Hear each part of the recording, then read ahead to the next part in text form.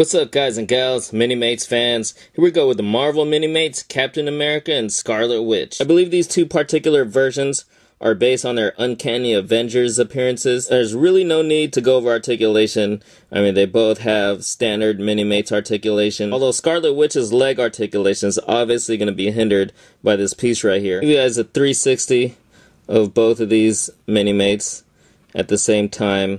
Uh, really good designs you know, great printed details on them. As you can see, they both do come with these display bases. Cap comes with his alternate left hand without the peg for the shield, as well as this hairpiece. And Scarlet Witch has these two alternate hands with her hex power effects. All in all, this pack will make a great addition to your Marvel Minimates collection. I'd highly recommend it. Hope you guys enjoyed and thanks for watching.